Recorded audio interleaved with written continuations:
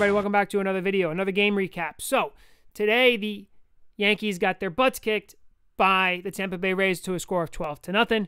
So, without further ado, because there's really not much to talk about today uh, with this recap, let's go and dive into it. So, the Yankees, like I said, they lost 12 nothing. They didn't score any runs on five hits and two errors. And it was a close game for the most part. Uh, it was a 2 0 game up into the bottom of the seventh inning, and then the, the, the Rays put up an eight spot uh, and then added two more in the eighth to, to kind of put it out of reach. Um, when you look at the offensive output for the Yankees, Torres uh, went over, so you know he finally didn't record a hit in one of his starts. He had a, he was off to a good start. Peraza, uh, one of the low, one of the only highlights in the uh, in the offensive side of the baseball, uh, going one for three. Trevino went one for three as well. And other than that, uh, the other other name to kind of look at is Pereira. Uh, he went one for three with a strikeout. So, you know, there wasn't a lot of regulars in today's lineup. Uh, you know, it was just really Torres, Peraza, and Trevino. Uh, other than that, you know, you got Sweeney got an at bat. Difo was in there as the as you know the invite to spring training to play to, for the left field spot. Uh, McKinney made a made a appearance as well. So you know it was kind of just like the and Ortega is there as well in left field. So it was kind of just like a minor league squad with with the subtraction of Peraza, Trevino, and Gleyber, and they face Springs, who is a major league pitcher. So, uh, you know, and again, you know, when you look at these numbers and you look at the score, remember, remember, it's spring training.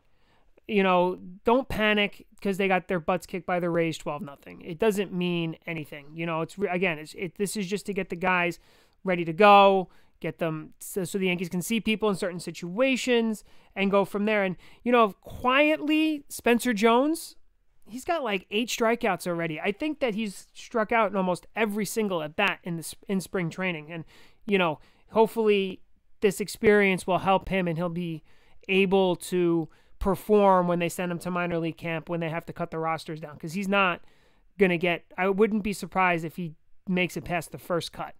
Uh, so that's just on the offensive side of the ball. So on the pitching side, it doesn't get much better. Boyle started three innings, two runs on two hits, two walks, three strikeouts to get up a home run. Um, the only bright spot in the in the pitching side of the ball is Nick Ramirez. Nick Ramirez pitched with the Padres last year, uh, kind of a journeyman lefty. In the last video, I said that Peralta is the only lefty in the bullpen as of right now, and maybe Ramirez is making the case to be the second. He pitched one inning uh, today with three strikeouts. He has two innings pitched in spring training, and he hasn't given up any runs or hits, so he's pitching really well. Now, the other pitcher that I kind of want to cover that was kind of a big deal when he signed was uh, Tyler Danish, uh, and he didn't even record it out. Uh, four hits, six runs, six earned runs, two walks. Did not pitch well at all. So, you know, hopefully he could figure it out because he does have major league experience and he can help the bullpen. Uh, hopefully he could figure it out. And today was just a one off. But that's pretty much it um, with this game. This game moves the Yankees to three and two. And that's pretty much the recap for this game. My top hat award player for this game is Nick Ramirez because of striking out the side in one inning in relief.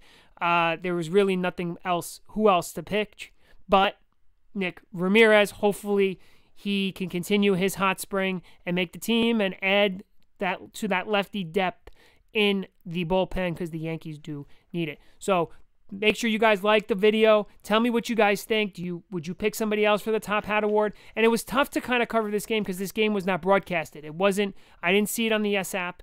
I mean, I couldn't even get on the YES app. It was down. Uh, it wasn't on the YES network. It wasn't on MLB.tv. Uh, it wasn't on the app. Uh, so I, you know, I'm just going based off the numbers on the sheet. So Tell me what you think of the new format. This is the second video with the format. Hit the like button, hit the subscribe button, and I'll catch you guys on the next video.